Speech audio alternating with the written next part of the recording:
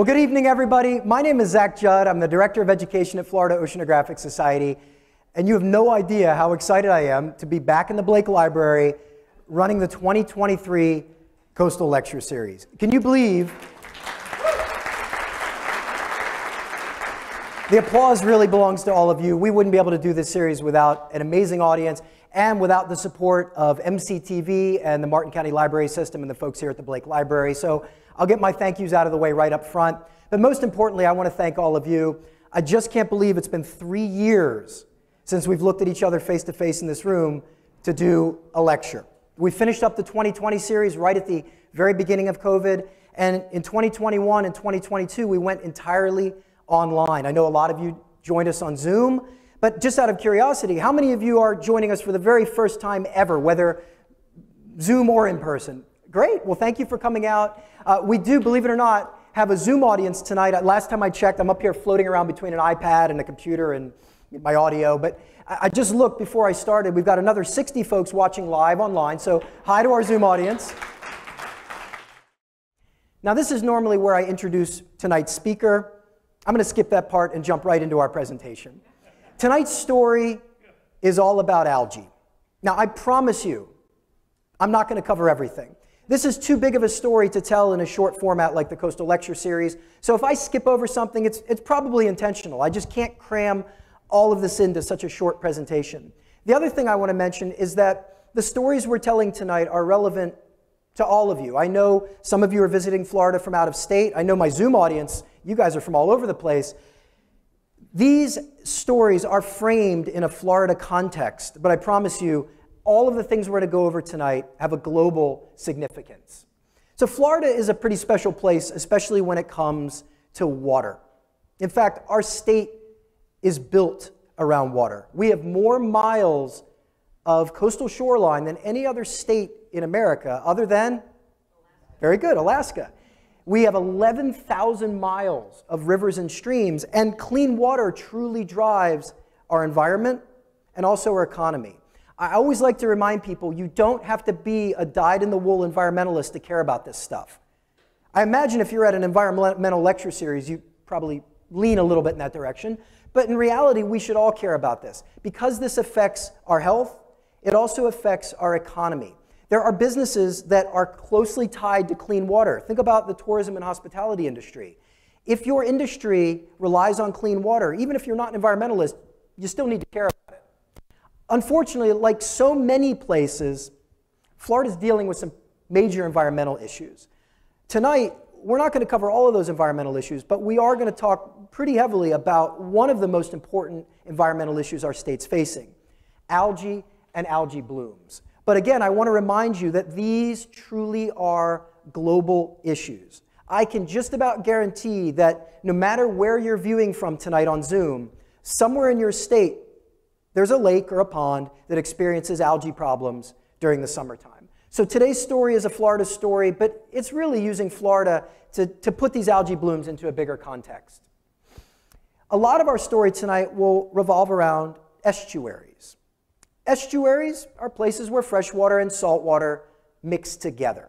So, a classic example of an estuary is a place where a river flows into the sea. Think about Chesapeake Bay. It's where the, the Susquehanna River flows into the Atlantic Ocean. And as that fresh water mixes with the ocean water, we end up with an area of brackish water. And that brackish water becomes a very important home for so many organisms that we value. So these are important places. In our part of Florida, we have an estuary that is a river flowing out to sea. Right down here, the St. Lucie River is an example of a classical river mouth estuary. But we have another type of estuary in Florida that isn't a river flowing into the sea. For that matter, it's not a river at all, even though the word river is in its name. In our area, the Indian River Lagoon is a critical estuary. In fact, at least at one time when it was healthy, it was considered to be one of the most biodiverse estuaries in North America. So, really important body of water. It starts all the way up here, just south of Daytona Beach at Ponce de Leon Inlet, and it runs down to Jupiter, about 156 miles. But runs is not real accurate. It actually doesn't go anywhere. It's just a lagoon that is nestled between the barrier islands that run up and down Florida's east coast and the mainland. It gets fresh water from a series of rivers and creeks on the western shoreline, and it gets salt water from a series of inlets that perforate the barrier islands. So it's still a brackish water environment, but it doesn't really go anywhere. Today's talk is going to focus heavily on the Indian River Lagoon as well as the St. Lucie estuary. As we begin to think about algae, it's important to recognize the fact that there are literally thousands and thousands of different species of algae on our planet most of them aren't bad. They're good. A lot of algae species provide food and shelter for wildlife. For example, this stuff. This is sargassum. You've probably heard it called seaweed. Seaweed's just another nickname for certain types of algae.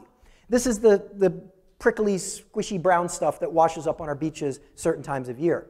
Sargassum, when it's floating out in the ocean, is usually considered a good thing. You can see in this image literally hundreds of fish hanging out under these mats of sargassum. We see little fish, like you, you see in this image, but bigger fish are nearby. Predatory fish like to hang out around sargassum because there's lots of food. If we were to zoom in on this sargassum, there are tiny shrimp and crabs hanging out in there. If we were to look at it from above, where do you think baby sea turtles spend the first couple years of their life? Hanging out in this stuff. So this is a great example of a type of algae that's good another good type that you guys are probably familiar with is kelp. The same story. It provides a great food source and a great shelter for wildlife. So it's important to see that the news stories we hear all the time about bad algae only represent a subset of the algal species that are out there. Obviously, those are the more important stories, but it is still good to know that they aren't always bad. So, what are they? First and foremost, algae are not plants, but they're pretty close.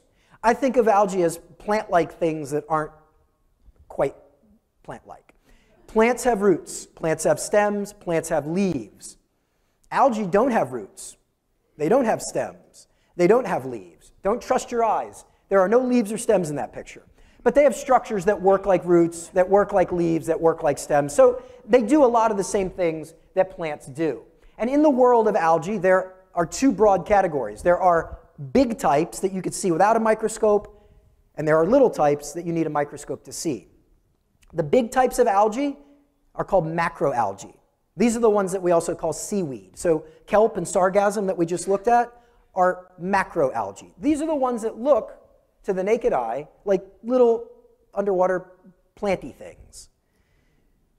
There are also lots and lots of algae that are microscopic and we call these microalgae. They are so tiny that if I had a glass filled with microalgae up here, it would just look like water until I put a drop under a microscope. Most harmful algae blooms are caused by the latter, the little tiny microscopic organisms that you need a microscope to see. I will give you some examples later of harmful algae blooms that are caused by the bigger ones, but they're few and far between. In Florida, the vast majority of our bad algae stories relate back to microscopic organisms. This is a great example. This is a satellite image of the northern Indian River Lagoon. Just to give you some context, this is the Kennedy Space Center where last night's SpaceX launch went off. Did anybody hear it? It's pretty cool, right? This is the Mosquito Lagoon, the Banana River, and the Northern Indian River. Combined, this is all part of the Indian River Lagoon system. And you can see from outer space that that water is pea soup green. But if I scooped it up into a clear glass, it would look pretty clear. You wouldn't see anything in it until you looked under a microscope.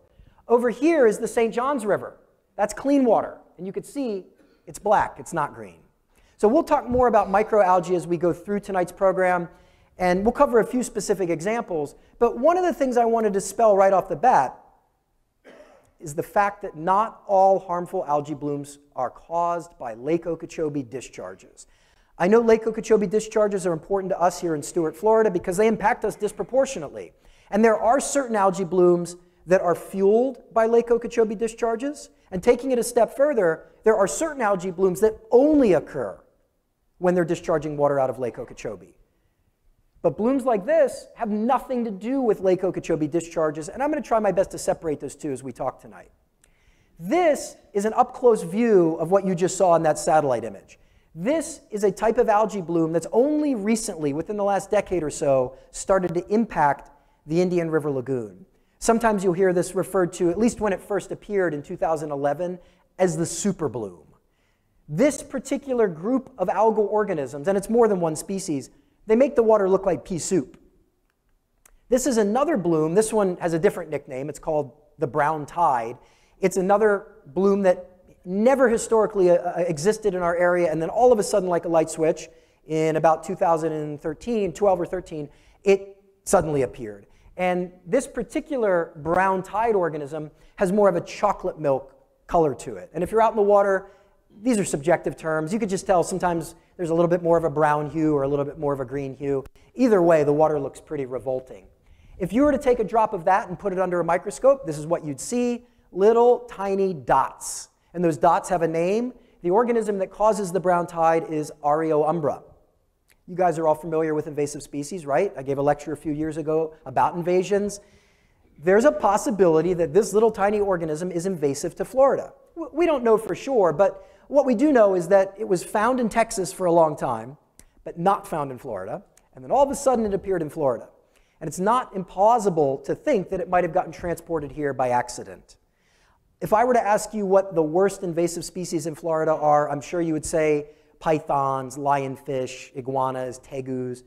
As a biologist, I'm much more concerned about little things like insects and fungi and bacteria and algal bloom. This particular bloom, as I mentioned, makes the water look kind of brownish green, but then there's this other much darker brown area outside of the bloom. That is seagrass. Seagrass is such an important part of a healthy estuary. It provides shelter and food for so many organisms that we value. During a bad algae bloom like this, if you were to wade out into the water and reach in with your hand, your hand would disappear almost immediately. Sunlight cannot get through this soupy concoction of algae, and as a result, the seagrass beds that grow on the bottom, they run out of light and they start to die. Whoop, wrong button. In the last decade or so, we've lost more than 50,000 acres of seagrass in the Indian River Lagoon. That's 50,000 football fields. That's probably somewhere in the 90 to 95% range of what we used to have depending on how you analyze the data that are coming in right now. Here's a really graphic example. I don't need to give you percentages here because it goes from practically 100 to practically zero. This is a spot in the Indian River Lagoon I used to love to fish. This is a quarter mile wide bed of seagrass that ran for miles north and south. 2009 is not that long ago. In 2011, we had the super bloom. In 2012, we had our first brown tide, and by 2013, in this area, the grass was completely gone. This is a barren, sandy moonscape in 2013. That's a decade ago. How's it look right now? Well, I'd like to say I went on a fact finding trip last week because of this lecture. I actually didn't know I was even giving this lecture last week, so I, I, really I just went fishing. But I was up in this area, and what I saw was that there wasn't a single blade of seagrass. I didn't see a blade all day. But if you were to look at this from satellite, here's what it looks like right now. Looks great, right? That's a big, wide green band right in the area that it used to exist. But when you get in a boat and you start looking at it, it doesn't look quite right. That's not seagrass. That is another kind of algae bloom. This is a type of macroalgae called caulerpa that can bloom sometimes when the health of an estuary is a little bit out of whack. We've got issues with water quality this stuff can grow. It's not as harmful as some other types of algae, but it absolutely doesn't belong there, and it's not providing the benefits that seagrass would. This is a sign that something's wrong, and even though it's better than having just a sandy moonscape, it isn't providing the habitat or the food that our beloved animals need. Things like game fish, things like sea turtles, things like manatees. And this is one of the reasons why Florida is having a manatee crisis. I just looked at the latest numbers from 2022. We're only a week into the year now. Last year, we had 800 manatee deaths in Florida. That's not a record. The year before, in 2021, we had 1,100. That was a record. In many cases, those manatees died of starvation because their seagrass beds had literally disappeared. They had nothing left to eat, and it's not getting any better. Now, there is a little bit of a twist. Manatees would rather be warm than have a full belly. And in certain parts of Florida, we operate power plants that produce warm water pollution, thermal pollution. The manatees have learned to hang out around these power plants in the winter, and they've stopped utilizing their historic migratory paths. Manatees use social learning. They teach their offspring life lessons. So mother manatees aren't teaching their children to migrate anymore. And as a result, manatees are gathering in areas where there's warm water, but there's no food for them to eat. And that's a big part of why they're starving. That's also why the U.S. Fish and Wildlife Service is doing this ludicrous thing of feeding manatees lettuce. I don't know where you guys stand on that, but I could tell you that's not the solution. We need to fix the water. We need to get the grass to come back, and then the manatee population will stabilize at a natural level. So I mentioned we've got some algae blooms growing in the Indian River. I talked about brown tide, I talked about a super bloom. They are not toxic. I haven't said a thing about toxic algae yet. I'll say a lot about it later, but these aren't toxic blooms. However, they can still cause big problems like fish kills. This is a fish kill that occurred in the Indian River Lagoon in 2016, and it was caused by algae blooms like we just looked at. So, how does a non toxic algae bloom cause that much harm? And, and I want to remind you this is one person's backyard. This bloom extended 30 miles. And it only lasted two days, but 30 miles times two days. I counted these fish one day. This photo has over 5,000 fish in it. We're probably talking about over a million fish in a two day event that died from a non toxic algae bloom. It has to do with oxygen. Remember, I said earlier that algae are kind of sort of plant ish? Well, like plants, under ideal conditions, algae take in carbon dioxide, and with a little bit of sunlight magic, they create food and give off oxygen. A lot of the oxygen that we're breathing right now was created earlier in Earth's history by algae and algae like organisms. However, sometimes algae do the opposite. They take in oxygen. And that's what happened with that fish kill. In that very specific moment, the algae bloom kind of flipped a switch and it started using oxygen. And as a result, we lost a tremendous amount of fish in a very short period of time. So, what's causing all this stuff to grow? It depends on where you're at. But in some areas, we've got a pretty obvious answer. This is somebody spreading fertilizer during the fish kill that I just showed you. This is literally a waterfront home on the Banana River, and somebody is pushing a fertilizer spreader around with millions of dead fish floating in the water. So we really need to think about nutrients. But nutrients, kind of a tricky thing to talk about because normally they're good, right? And you could probably read the future and know that I'm about to say they're bad. Well, it has to do with what they are and how much of them we're exposed to. By definition, a nutrient is a substance that provides nourishment essential for growth and the maintenance of life. For humans, our nutrients are protein, carbohydrate, fats, and then we take lots of, of micronutrients in our vitamins zinc, iron, selenium, etc., etc., etc. If we take too much of a good thing, it becomes a bad thing. Zinc is a good example. When we have a cold, we pop our little zinc supplements in and we think we're fighting off our cold. But if I were to give you a whole bunch of zinc, you'd probably die from it. The same thing applies to the nutrients that are fueling algae blooms, namely nitrogen and phosphorus. So, nitrogen and phosphorus are the key nutrients that are triggering a lot of the algae blooms that we're going to talk about tonight. And I have nitrogen and phosphorus underlined there. If you've done any gardening and you buy a bag of fertilizer, you are going to see NPK on the back of your fertilizer bag. N for nitrogen, P for phosphorus, K for potassium. Those are the nutrients that we throw onto plants to make them grow quicker. So, of course, it makes sense that since algae are kind of sort of plant like, when we put nutrients like nitrogen and phosphorus in the water, they will fuel the growth of algae. I'll repeat this a few times tonight, probably, but I look at these nutrients as gasoline on a fire when we're dealing with an algae bloom. I'm going to take a step back and say that I am grossly oversimplifying this next sentence. But Florida's algae issues boil down to two things fertilizer and waste. Now, it's obviously much more complex than that, but in simple terms, our nitrogen and phosphorus sources are fertilizer and waste. Fertilizer can mean a lot of things. I bet most of you immediately think of this large scale farm fertilizer.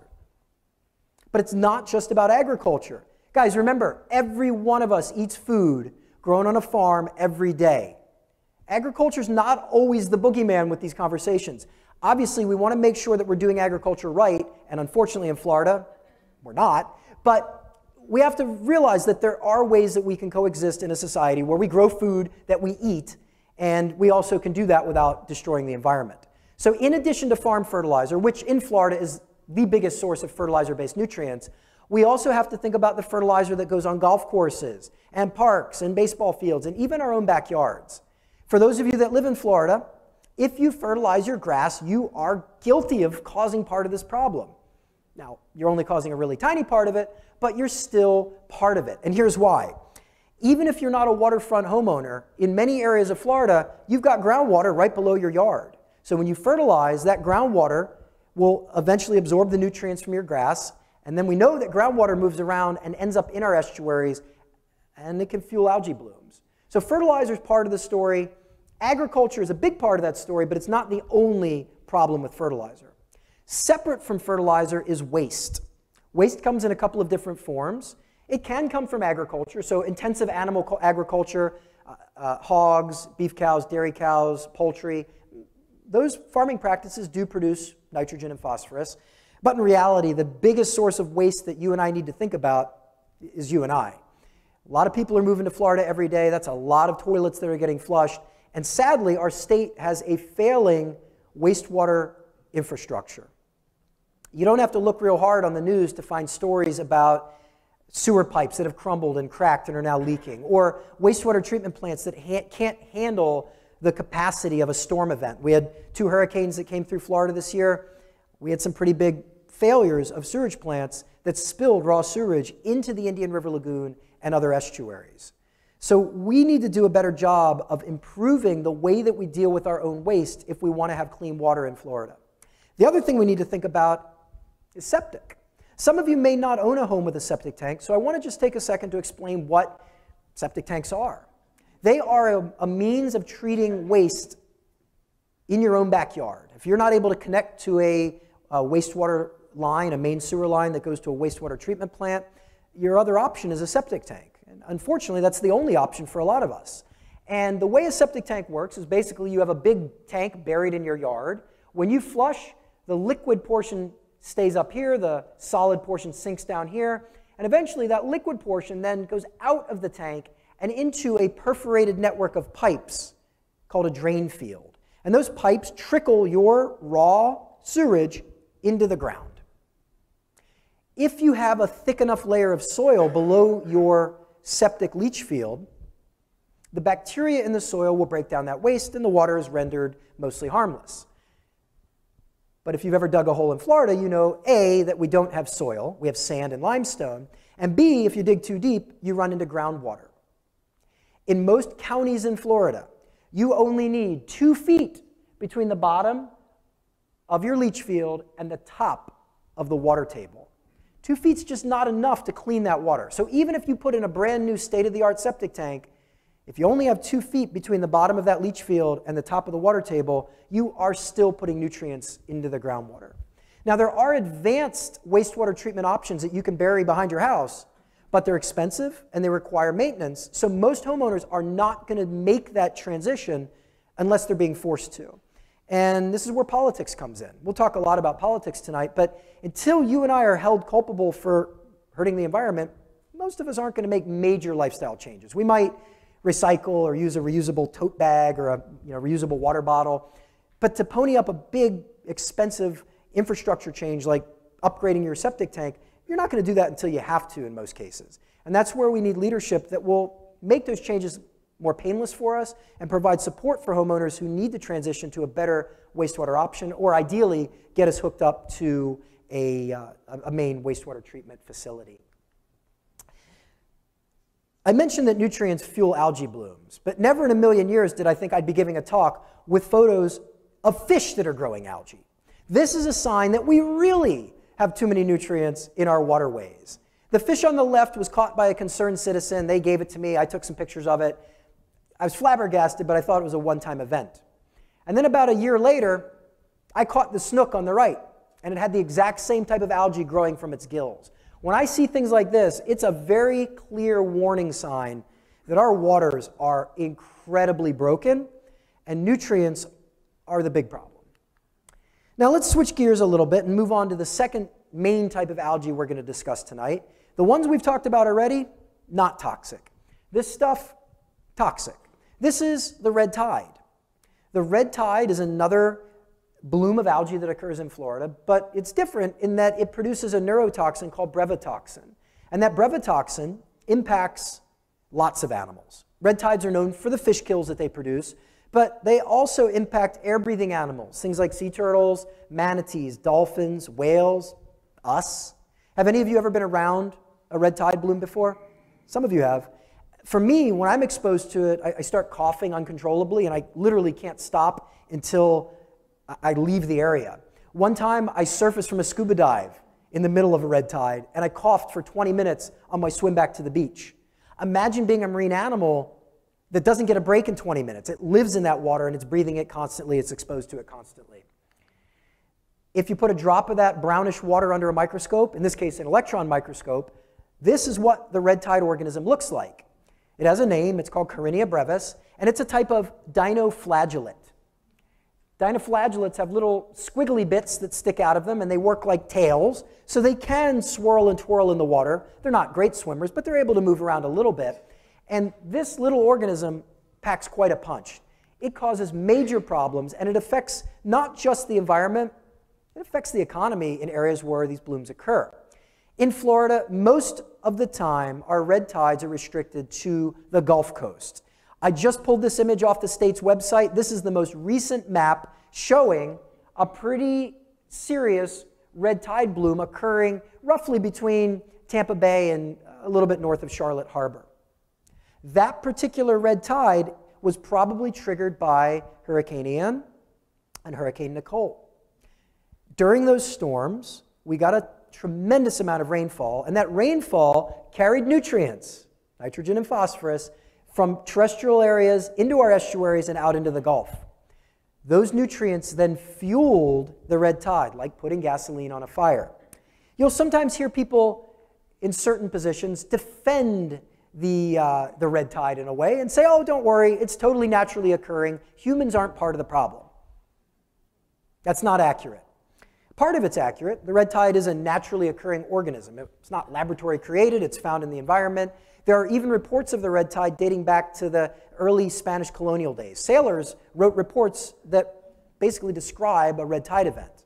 But today's red tides are very different than historical red tides. Today's red tides are closer to shore, they're more intense, they're more widespread, and they're longer lasting.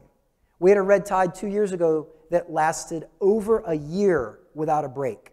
That's because of the nutrients that we are putting into the water.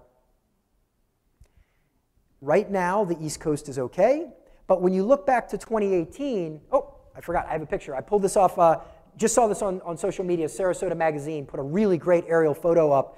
This gives you an idea of what this frothing, foamy mass of algae bloom looks like in contrast to that beautiful clear water of the Gulf.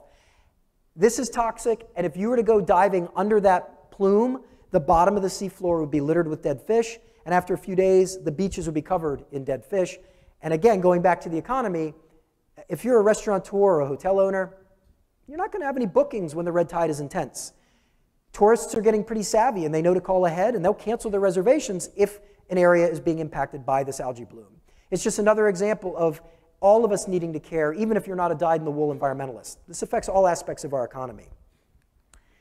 In 2018, I was starting to mention that the bloom on the west coast got so severe that it wrapped all the way around Florida and impacted us on the east coast. Right here in Stuart, we had severe red tide for a few weeks that year.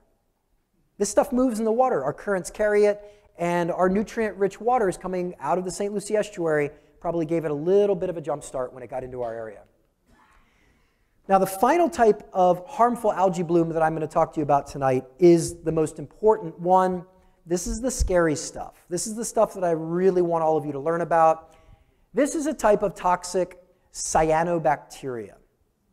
If you were to put a drop of this under a microscope, little brown dots, not very impressive, but it's bad stuff. The species of blue-green algae that impacts us in Stuart, and honestly globally now, is called microcystis. And like we said earlier, it's just one species out of many. Like algae, there are thousands of different kinds of cyanobacteria on our planet, and only some of them are harmful. So, what are they? First and foremost, they're not algae. Even though you'll hear them referred to sometimes as blue green algae, that's not really an accurate description. They're tiny bacteria, but they're like algae in that most of them use sunlight to grow. They grow in a lot of very harsh environments. If you've ever seen like a National Geographic special where they're deep underwater with a submersible at the, the hydrothermal vents where hot water's boiling out of the seafloor, the animals that live around those vents rely on cyanobacteria for food because the cyanobacteria can thrive in harsh environments. If any of you have visited Yellowstone, the yellow ring around prismatic hot springs is a form of cyanobacteria that can tolerate nearly boiling water. And just a cool side story because I think it's neat. As you get further away from the blue, the color shifts. And each of those colored bands, as you get further and further out, is a whole different community of bacteria and cyanobacteria, and each community tolerates progressively cooler and cooler temperatures. So near boiling at the water's edge, maybe 140 degrees a little further out, maybe 130, 120, they all tolerate hot water, but their colors change as they get further and further away because the species composition differs. Cyanobacteria also end up in our food sometimes. Your green drink, your smoothie that you buy might have spirulina in it. Spirulina is cyanobacteria. Presumably, it's healthy for us to eat. Personally, I wouldn't eat it. I know enough to know that we don't have a really great understanding of how these things work, when they're toxic, when they're not toxic, and how they build up in our tissue. So if you do drink drinks with spirulina or chlorella, do a little homework and make sure you're doing the right thing. Again, the specific type of blue-green algae that impacts our community out of the thousands of species on Earth is called microcystis. Microcystis is, is pretty gross. When I'm around it, I get respiratory issues. My eyes water. It stinks. It's, it's gloopy and clumpy and lumpy. And the biggest thing you'll notice is that shocking neon green color. The first time you see it, it almost looks like somebody poured paint into the water or maybe antifreeze. It's bad. It's bad because it's toxic and it creates a whole suite of toxins, not just one, but potentially dozens. It is toxic to wildlife, it's toxic to pets, and it's toxic to people. Short term exposure has been linked to things like liver damage, pretty bad liver damage, pretty irreversible liver damage. But the bigger concern is long term exposure. There is a growing body of scientific evidence suggesting that long term exposure to cyanobacteria like microcystis might be linked to certain neurodegenerative disorders like Alzheimer's, Parkinson's, and ALS. And here's another scary thing we can't predict when this stuff is going to be toxic. It can turn toxicity on and off like a light switch. For example, this might be your backyard. You call the Department of Environmental Protection, they will come out and scoop some of that up, they'll sample it, and they might get back to you and say, hey, it's the bad stuff, but it's not toxic. Great news, right? By the next day, it might be deadly toxic. And unless you're sampling it day after day, there's no way to predict when it's going to go from a nuisance to a downright toxin. This is a publication that came out this year that adds increased evidence to this theory that a certain toxin in microcystis, something called BMAA, beta methyl aminoalanine, might be responsible for brain diseases like ALS. The theory is that this particular amino acid may get into the proteins of our brain and cause them to misfold, and it might cause plaques to develop. I have to be careful when I talk about this, though, because we do not have definitive proof. The reason we don't have definitive proof is it takes decades to develop. We have really good correlations in multiple systems, but we don't have definitive proof yet. In my opinion, the correlations are strong enough that I take this very seriously. This is what it looks like. How many of you have seen this in person? Have any of you been here so for folks on Zoom, about a third of our audience has seen this.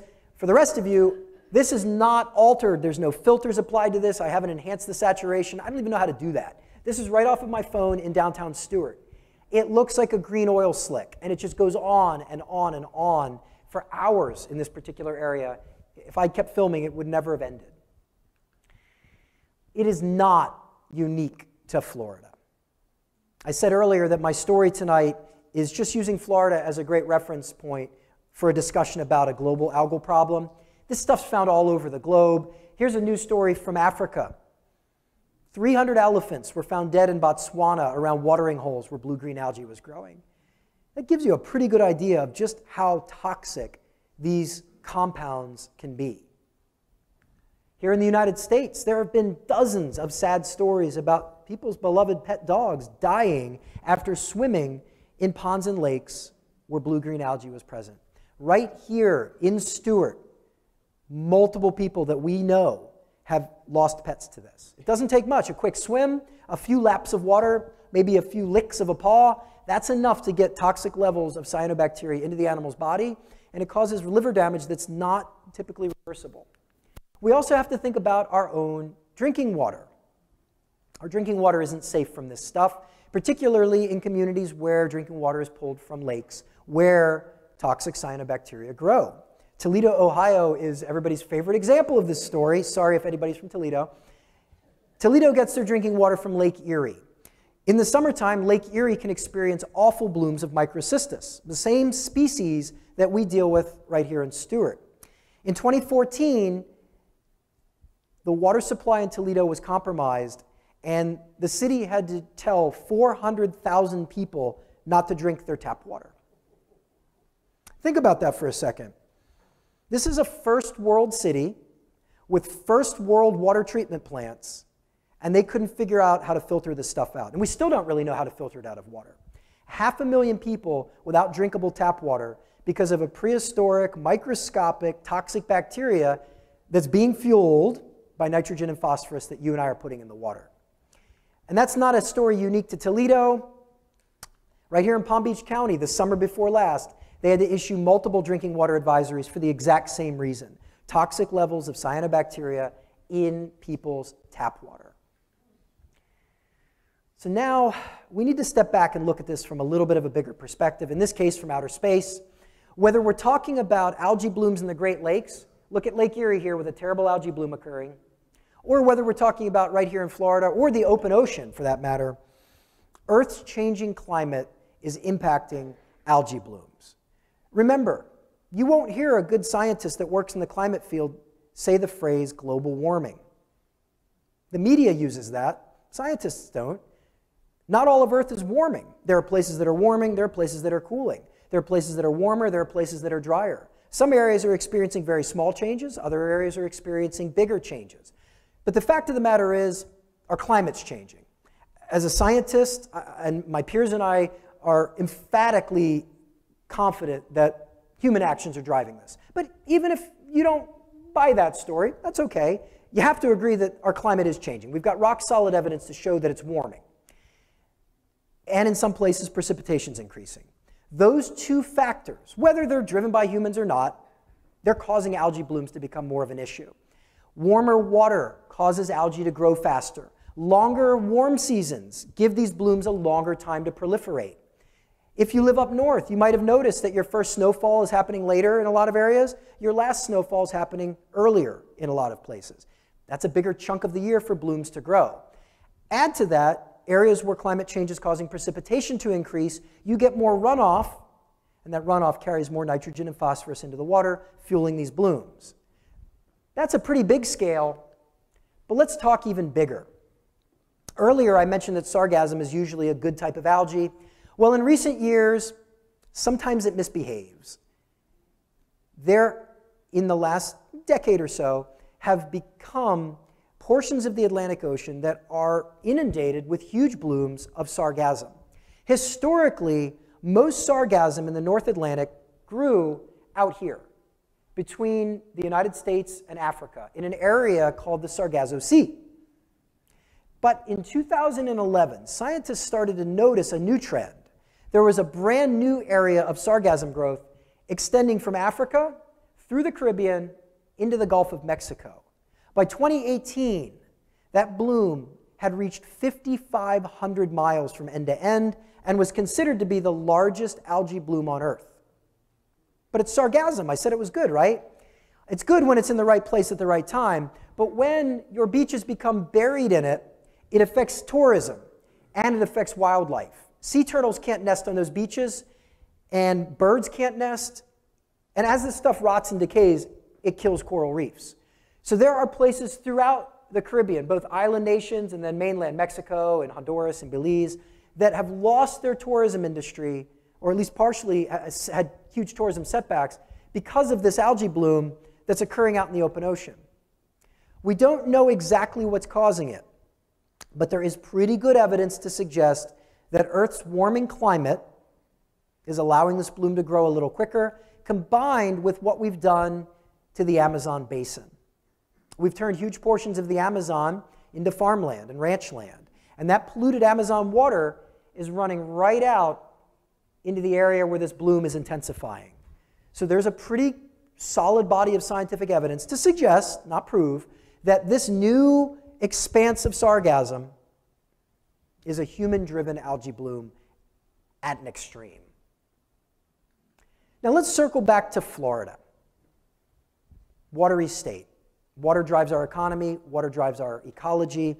And I, I spent a lot of time talking about one specific type of algae that's a particularly big threat, that microcystis stuff. Well, there's something I haven't mentioned yet. Microcystis is a freshwater species, it's not a saltwater species. So, in theory at least, here in coastal Florida, it shouldn't be a big deal, right? Well, unfortunately, it is because the blooms that I showed you in those photos in that video, they are intentionally being dumped on us from somewhere else. They're coming from Lake Okeechobee. Now, Lake Okeechobee is an amazing body of water. Some of you may have heard me talk about the lake in the past. It's just a really cool place. It is one of the largest natural freshwater lakes in the United States, and it used to be the watery heart of the Florida Everglades. If we could somehow step back in time, we'd see a very different Florida. Oh, let's step back in time. This is my favorite old map of Florida. This is an 1856 map of our state. And the reason it's my favorite is it's the oldest map I could find that didn't look like it was drawn by a second grader. It's an accurate map. And from this map, you can see what Florida was meant to look like. You could see how big the Everglades used to be. So I want to quickly give us a float down the Everglades from its headwaters, all the way up here near Orlando. You might not realize that the Everglades begins in the Orlando metro area in a little creek called Shingle Creek. Shingle Creek used to flow into the Kissimmee chain of lakes, and the Kissimmee chain of lakes would flow into the Kissimmee River. The Kissimmee River was a twisting and turning oxbow river, and during the wet season, that entire river would spread out into a big floodplain marsh. Those wetlands filtered the water as it flowed into Lake Okeechobee. During the wet season, the lake itself would slowly fill up and expand. I've read old accounts of the lake nearly doubling in size during the wet season. The whole perimeter of the lake would become a giant, shallow wetland. During the dry season, there were times that it shrunk to a much smaller size. The bottom was hard sand, the water was clear, the fish were abundant, the waterfowl were abundant, and the lake itself at that time, as I mentioned, was the heart of the glades. Water used to flow over the edge of the southern shoreline of the lake, and it would spread out to form the Everglades, or as Marjory Stoneman Douglas called it, the River of Grass. That was a great nickname for the Everglades because at one time, it was a big grass filled river. And when I say big, I really mean big. The western edge of the river of grass was about here. The eastern edge was about here. 40 miles wide at its widest, 100 miles long. The water would flow gently and slowly from the bottom of the lake all the way down to Florida Bay and the Florida Keys. If you put dye right here, the water would very slowly travel south.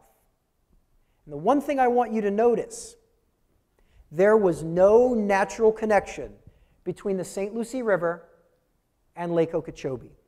None. In fact, what we know of today as the St. Lucie River was roughly restricted to the area east of I 95. Everything west of town was wetlands that didn't go anywhere. When it rained, those wetlands would percolate into the aquifer and recharge the drinking water that so many of us rely on today. There was also no connection between the Caloosahatchee River and the lake. The Caloosahatchee was a much bigger river, but it never reached all the way to the lake. Because it was a bigger river, it needs more fresh water than the St. Lucie does, and we'll talk about that later. But just understand, there was no natural connection between these systems. Unfortunately, we've kind of messed things up. Back in the late 1800s, our government didn't see any value to the Everglades. That was a period in time where growth was more important than the environment. And there was a major effort to drain the glades. They wanted to dry out as much of that land as possible, primarily to create farmlands and cities and towns. They started this draining process by dredging enormous man made canals to drain water off the lake and out of the glades. And then, following two big hurricanes that hit our area in the 1920s, they began construction on an earthen flood control dam that would eventually go all the way around the entire lake. That dam became the Herbert Hoover Dike. The Herbert Hoover Dike cut off water flow to the Everglades, allowing us to permanently drain about half of the original Everglades ecosystem. Today, if we look at communities in western Palm Beach, Dade, and Broward counties, those towns were built on the skeleton of the Everglades. I grew up in the western part of Broward County, and as a little kid, I never understood why there were so many old cypress trees in my neighborhood. And then I found some 1940s aerial photography after these canals had started to be built, but before any houses were built and you could literally see that my neighborhood was built on top of the drained Everglades. But even bigger than urban development in South Florida, draining the glades allowed us to create the 700,000 acre Everglades agricultural area immediately south of Lake Okeechobee. That farmland was built directly on top of the rich soils that used to underlie the River of Grass. Today, the most valuable crop in that area is sugarcane, and we'll talk more about that in a second. Now, when you build a big dam around a big lake, what do you do with all that water when it rains? This year we had two hurricanes come through Florida. There's a lot of water in the lake. What do you do? Well, water managers decided to use those man made canals to move water out of the lake. Specifically, one big canal that goes west to the Caloosahatchee and one big canal that comes east to the St. Lucie, right here in Stuart. In a bad year, those canals can dump hundreds of billions of gallons of lake water out to sea. Here's a, a, a, an aerial view of the canal that we deal with here in Stuart. It connects from the lake through agricultural lands in western Martin County and dumps into the South Fork of the St. Lucie, through the Indian River, and out to sea. I also want to point out these other two canals, the C23 and C24. They do not connect to Lake Okeechobee. Sometimes you hear people say that they do, but that's not accurate. These are drainage canals that were meant to drain all of those wetlands that I mentioned existed in western Martin County historically. When it rains in western Martin County, to keep the land from flooding, these canals discharge water into the St. Lucie. That is separate from the water coming out of the lake, but it can be just as harmful. This fall, we did not get any Lake Okeechobee discharges, but our water still looked awful that's because of water primarily coming out of the C23 and C24 after the hurricanes came through our community. There's a connection between the lake and our community, and it brings with it horrible toxins. The lake itself is so polluted that it, it really acts as like a supercharged cauldron of algae growth. In a bad year, you can see these blooms from outer space. In a bad year, they can cover up to 90% of the lake's surface. Right here is the outlet to that canal I just mentioned. So it's not hard to follow the dots. This is an aerial view looking east. Here is toxic cyanobacteria flowing into the C44 canal. Here's the other end of the C44 canal, west of town, at the S80 flood control structure.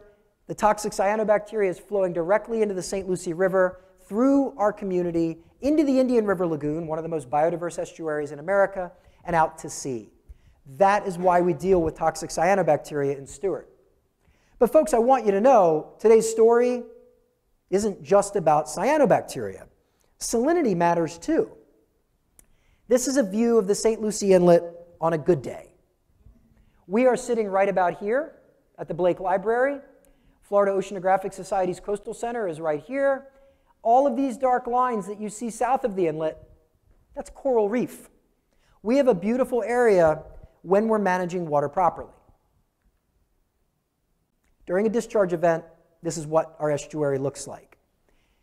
Even if that water doesn't have cyanobacteria in it, it still creates a big problem. You can see it's filled with sediment, but it's also very fresh. And just those salinity changes can have an impact on plants and animals that need salt water to live. When you dump that much fresh water, billions of gallons a day, into a place that's meant to be salt water, the salinity fluctuations start to have an impact. And folks, this plume has been tra tracked 10 or 15 miles offshore sometimes. If there's toxic algae in it, that toxic algae goes miles offshore and can affect animals that live out in the open blue ocean. Salinity in our area has a big impact on seagrass. I started the program showing you maps of dead seagrass in the northern Indian River, and I said they're mostly caused by algae blooms. In our community, most of our seagrass die-offs are caused by LACO discharges. The water is dark and filled with sediment, so it blocks sunlight, but it's also too fresh for the grasses. Seagrass needs salt water to live, and when you inundate a seagrass bed with pure fresh water for long enough, it kills the grasses. In 2016, we had a major discharge from Lake Okeechobee. Prior to that discharge event, this area inside of the St. Lucie Inlet was a lush seagrass meadow. I still remember the first time I fished out there, it was just hard to believe how much grass was growing. In one year, all of that grass died. For the most part, it hasn't come back yet. This past year was the first time in six years that we have not experienced bad discharges from Lake Okeechobee. Even with improved water quality, we just started to see a little bit of seagrass trying to come back. But for the most part, it still looks like a moonscape out there. And I'm concerned that the water that we saw this fall from the C23 and C24 canals will set back that little bit of recovery that we started to, to observe. Low salinity also affects oysters. Oysters in our part of Florida are like Goldilocks. They don't like fresh water, they don't like pure salt water. They want kind of an intermediate salinity. So if salinities get too low, it can start to impact oysters. It can stress them, and eventually, if it gets low enough, it can kill them. This is a good example of some water monitoring that Florida Oceanographic Society has, has looked at. And what we found was that in 2018, we had a real bad year with a long discharge period there were 127 days in the St. Lucie estuary where salinities were below the ideal level for oyster health and survival. Low salinity can also affect some of our favorite game fish species. The Indian River Lagoon used to be an angler's paradise. I've read books from the, from the late 1800s where anglers traveled to Florida specifically to fish for our famous game fish, our tarpon and snook, redfish, sea trout. Sadly, our fishery is in a pretty major state of decline. For species like sea trout, we've learned that the survival of their eggs and larvae can be affected by salinity. So even if we have clean water, if it's a little too fresh at the wrong time of year, you might not get any surviving juvenile sea trout to replenish the population. Sea trout have become a canary in the coal mine. They used to be an abundant fish in the Indian River, but without healthy seagrass and without healthy water, I very rarely catch them anymore. So, how do we fix all of this? This is how we're going to wrap up tonight's talk. It's tough. And one of the things that I haven't talked about yet involves something other than water quality. Quality is important, but we also have to think about timing and quantity. And we've really messed those things up.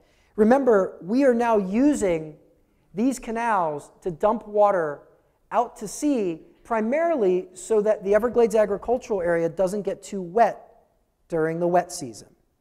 On the flip side of that, we are also actively working to prevent uh, any sort of drought in the Everglades agricultural area. So during the dry season, water managers are sending water south into the Everglades agricultural area when the rest of us are suffering from really dry conditions. All the while, the Everglades down here is cut off from this water. You might be surprised to hear that even though we have a ton of extra fresh water here in coastal Florida coming through those big canals, there have been repeated drought years in the Everglades that have devastated the ecology in Everglades National Park.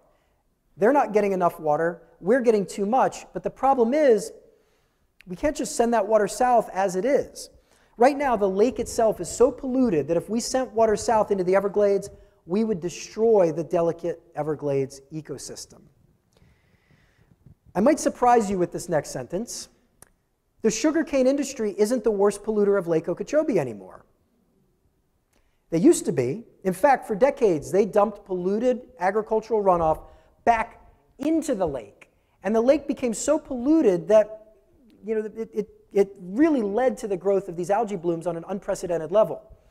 Those nutrients that came from the Everglades agricultural area historically and entered the lake have now settled down into the sediment on the bottom of the lake, which is no longer sand, it's a thick black muck. We call those legacy nutrients.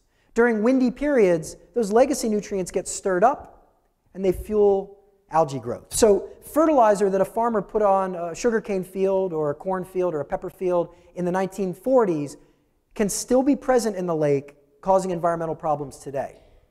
Most of the pollution coming into the lake today is coming from up here.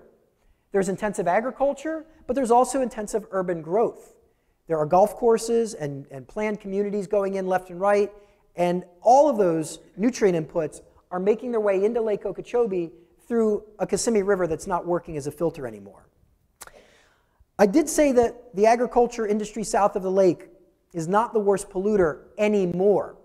What they are is the biggest roadblock to fixing this problem. And that brings us back to politics. We really understand the science behind Florida's water problems. We just need leadership at all levels, from, from county commission to Tallahassee to Washington, D.C., to help fix these problems. These are utterly nonpartisan issues. But until we have elected officials in office who are willing to step up to industry and step up to special interest groups and say, no, you don't get carte blanche anymore. We're going to fight to fix the environment, even if that means that there have to be some sacrifices. So, right now, the industry in the Everglades agricultural area has a ton of impact when it comes to how water is moved around in our state. The agricultural industry south of the lake is wonderful at lobbying. They've got strong bipartisan support of the work that they do. And as a result, they get perfect irrigation. So I know there's a lot of information on this slide. You can ignore most of it. I just want you to look at the, the red ovals, the green oval, and the red box. This is a map showing how water is moving during the dry season. And what you can see is that on this day, there is over 800 million gallons of Lake Okeechobee's water flowing into the Everglades agricultural area for irrigation purposes. Most of these numbers at the bottom of the map are zeros. Water's not getting into the Everglades. It's going to irrigate fields in the Everglades agricultural area. Thankfully, there isn't any water coming into our estuary, which is what we always want. Remember, we don't need any Lake Okeechobee water in the St. Lucie. Also, thankfully, there is some water going into the Caloosahatchee Please recall that the Caloosahatchee is different than the St. Lucie. It needs at least a little bit of water from the lake or it will get too salty. Let's flip gears to the wet season. 1.2 billion gallons of water on this day dumped from the lake into the St. Lucie, much more than that into the Caloosahatchee, and zero went from the lake into the Everglades agricultural area. Those fields are bone dry when the rest of us are flooding, and they're perfectly irrigated when the rest of us are under uh, drought advisories until we can gain some control over the way that water is managed, we're not going to see any changes. So even though the Everglades agricultural area is a lot cleaner in terms of pollution than it used to be, they are still holding the keys to how water is moved in Florida. But we can fix that. And there has been a lot of movement towards fixing that, both scientifically and politically. First, I want to introduce the Comprehensive Everglades Restoration Plan. This is the largest environmental restoration project on Earth. There are 68 main components to the Comprehensive Everglades Restoration Plan, and those components are designed to clean up the Everglades and improve water quality and environmental health. This was signed into law in the year 2000, 22, 23 years ago. Only one of those 68 projects has been completed. The one that's been completed was a low hanging fruit, it wasn't a real substantial project. But we are moving in a better direction. One of the most important projects in the Comprehensive Restoration Plan involves building a big filter wetland in the Everglades agricultural area, a wetland where the Everglades used to be. That wetland will filter water coming out of the lake so it can then be cleaned and free of nitrogen and phosphorus, allowing it to flow back into the Everglades where it was needed. We're moving in a good direction, guys. They have broken ground on that project. We are getting some state and federal funding. It's moving slowly, and it's not as big as the original plans called for. And, there's a lot of, you know, there's a big political backstory there, but at least it's a step in the right direction. The other big thing that we've watched develop over the last couple years is LOSOM, the Lake Okeechobee Systems Operating Manual. This is a really complicated graphic. Ignore it, don't worry about it. What this is, is a playbook that the U.S. Army Corps of Engineers uses to decide how much water to let into the lake, how much water to let out of the lake, and where to let it out. The existing playbook is called LORS. LORS wasn't working very well. LORS was written largely to guard against flooding in the Everglades agricultural area. Now, bear in mind, flooding in a farm field is not flooding like you and I would think of flooding. To me, flooding is where I have wet feet if I don't have boots on. But the Army Corps of Engineers, as mandated by Congress, has to protect agricultural interests from any form of flooding, and that means wet dirt. So if the water table in the Everglades agricultural area rises too high and the roots of the sugarcane get wet, that can cause crop damage. And the Army Corps is tasked with protecting those fields to the same level that they would protect a school or a hospital or a town. That's not going to change until we get political support in Washington, D.C. to make that change. In the meantime, the Army Corps is doing what they're mandated to do by Congress. But thankfully, LOSOM will start to look at all shareholders more equitably.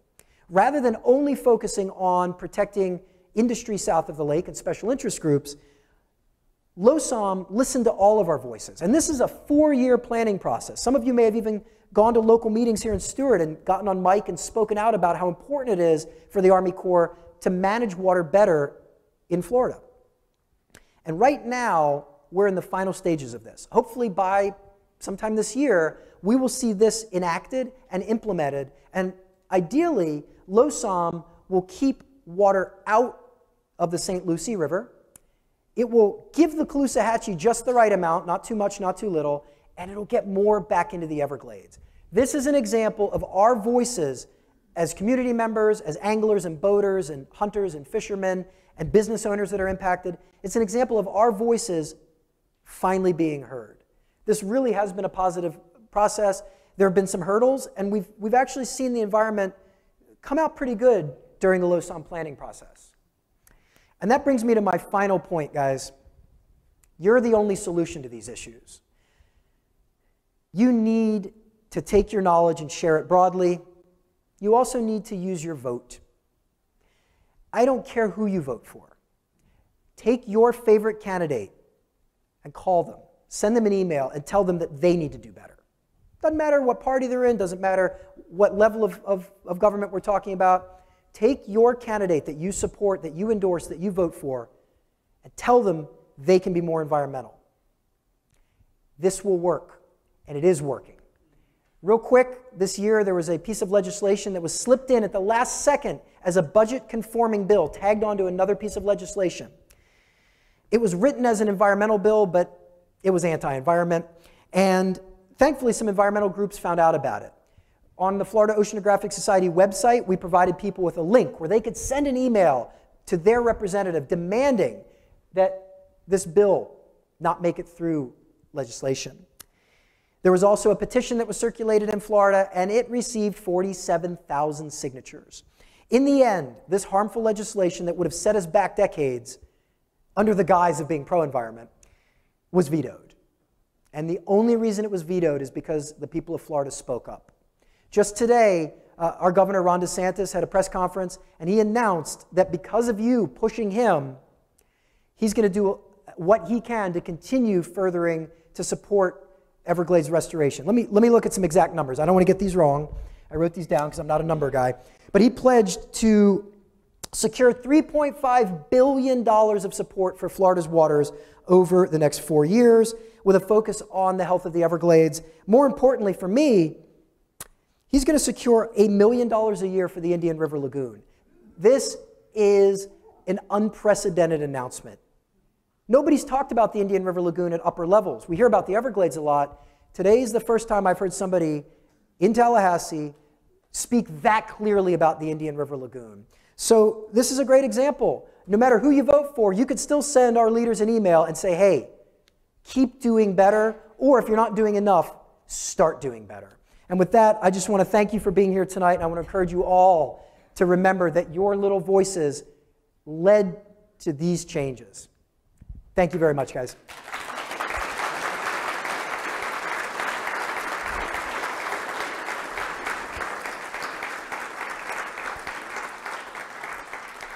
So, folks, we'll bring the house lights up a little bit. If any of you want to leave, that's fine, but we've got at least 10 minutes for a discussion. Uh, I'd be happy to answer any questions, starting with our in person audience. Folks on Zoom, if I had to guess, you've probably been typing questions in all evening. I'll do my best to check my iPad at some point and see if I can answer some of those. But again, because I'm not moderating, I'm, I'm speaking tonight, it might be a little challenging. Let's start with our audience here in person. Yes, in the back.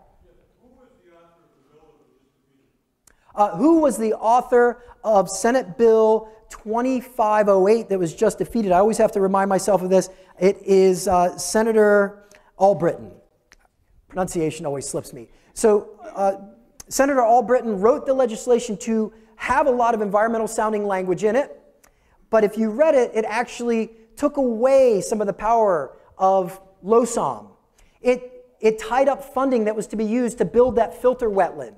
And then it also, kind of sneaky, it locked up funding to fix the Everglades contingent upon the passing of the bill. It was a sneaky, sneaky thing, and I will tell you that uh, people drove to Tallahassee to testify against this bill, and they were mocked and ridiculed on camera in front of the Senate, but their passion prevailed, and we ended up eventually succeeding.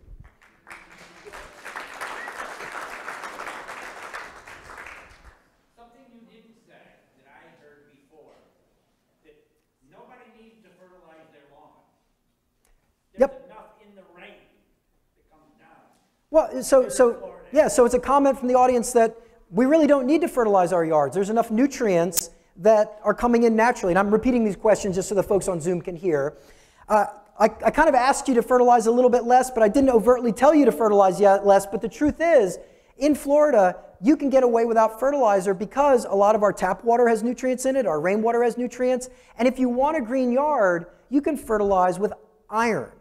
Iron will not cause algae blooms. It doesn't really cause your grass to grow quickly, but it'll keep it green. So you don't need to fertilize your St. Augustine grass. It's a myth, like the 3,000 mile oil change. Try it one year and see. If you keep your grass watered, you'll have a good lawn without destroying the environment. Thank you for that. Yes?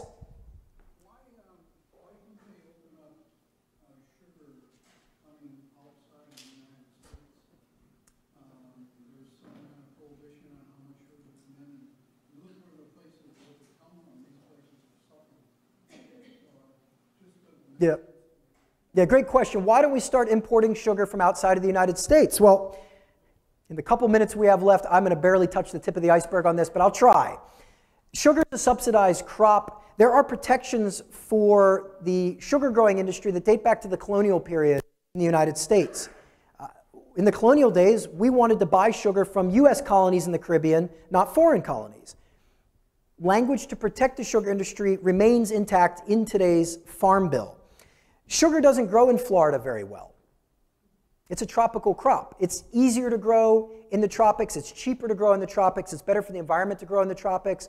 And because of that, consumers outside of the United States buy sugar at a much lower price than in the United States. But because there is not a free market economy for sugar in the US, we are paying twice the global price on average for sugar. That doesn't affect me much at Publix when I buy a little bag of sugar, but imagine if you own a business that uses tons of sugar each year and you're paying twice what your competitors are paying in other countries. The reason that we aren't importing more sugar, and, and we do import a little, but there are import quotas and there are price controls and tariffs. It's a really complicated story. It's, it's another hour long lecture, but you asked about the reason. The reason is because the sugar industry, which in Florida is primarily driven by two major jumbo corporations, they have successfully lobbied politicians for a very long time to keep the status quo. Where it gets tricky is that in the Midwest, there's another sugar industry, the sugar beet industry, that's dominated by smaller family farms. Legislation right now that impacts sugar cane also impacts sugar beets. So what we're doing in Florida could impact smaller family farms in the Midwest. In a perfect world, we would see a separation of those two industries. We would see uh, possibly changes to the way that sugar is imported in the US, and uh, we, would, we would see prices coming down. We maybe would see that it's no longer lucrative to grow sugar in the Everglades agricultural area, and either that land could become conservation land, or at the very least, we could grow a crop that we can put on the dinner table. There are other crops being grown out there. You'll hear the sugar industry all the time tell you about their corn and their sweet peppers and their, their rice. Don't, don't fall for that. I mean, it's really a sugar dominated area. I would much rather see agriculture that's putting food on the table, not industrial agriculture that's producing a chemical, sugar, that's hurting the environment, polluting our air, and, and you know, hurting our economy. All right, we have time for a couple more questions here. Yes, sir.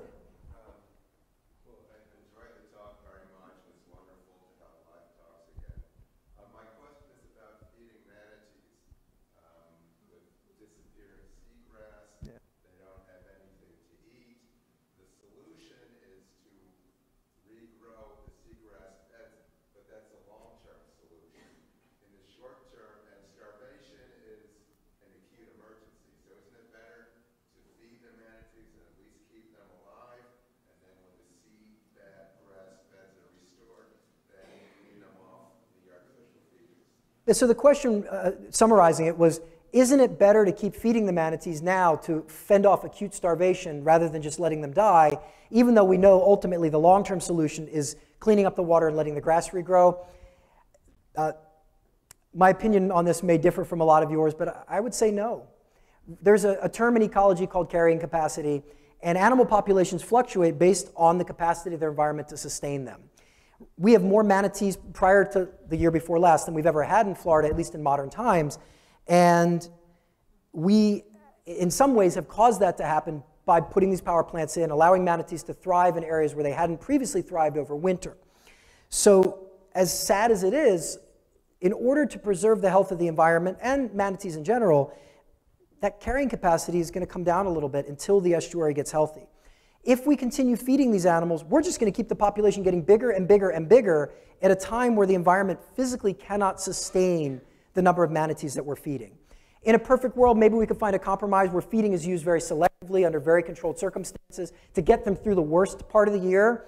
But if you just keep feeding them for months and months at a warm water discharge from a power plant, you're only going to continue that social learning and they're never going to migrate. They're never going to go back to doing what manatees are supposed to do. And in the end, you could end up with some other population collapse related to disease or um, you know, a change in the environment. But believe me, I understand that the idea of letting manatees starve versus feeding them is controversial, and I probably come in on a, an extreme side as an ecologist. What's being done is absolutely helping the manatees, but at the same time, it's, it's not addressing the bigger issue of how do we fix the Indian River so the grasses will grow back and the manatees will have a natural food source. Yes, sir.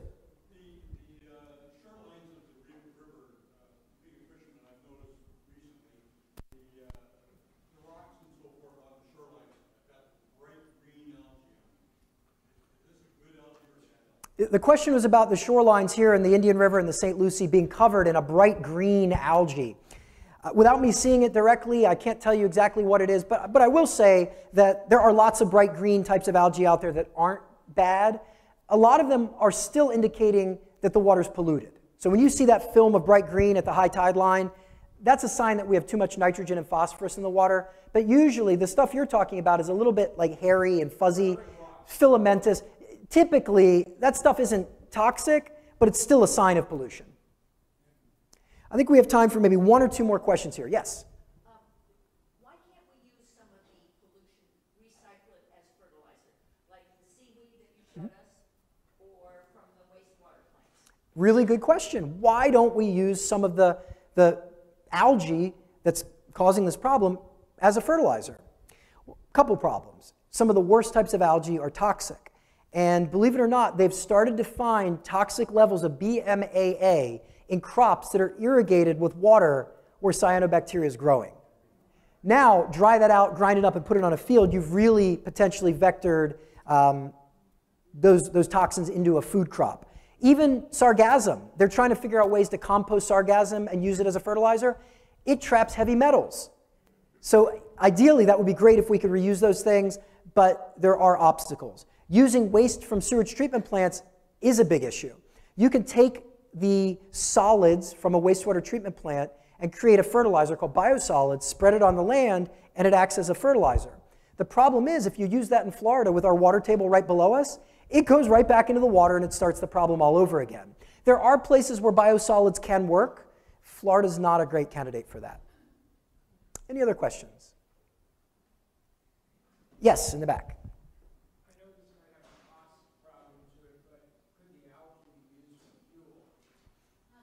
Great question. So the question following up with the previous question, what about using the algae as fuel? There are examples of algal organisms that are being grown in laboratories to make biodiesel. But as far as I know, it would be almost impossible to do that with wild algae. The species that are used for fuel are, are grown specifically because they produce a lot of oil inside of their body. They're also not toxic, and they're easy to harvest. If you go out into the wild, you can't just skim this stuff off the water and use it. The, the scale of Lake Okeechobee is so immense that you wouldn't be able to, to effectively vacuum this up or skim it up or, or slurp it up. I, I see where you're, where you're going with that. I think it'd be great if we could find some way of reusing these problem organisms. There are scientists out there right now working to figure out if there is anything that can be done with it. The problem is it's just so darn toxic, it's really hard to, hard to come up with something positive to do with it. Folks, if you'll hang out with me for one more second, I'm just going to see if there are any real easy questions to answer from our Zoom audience. I'm not sure how this is going to work, but I'm going to give it a try. Uh, we have to start somewhere. All right, let's see here. Bear with me just a second, guys. Let's see here.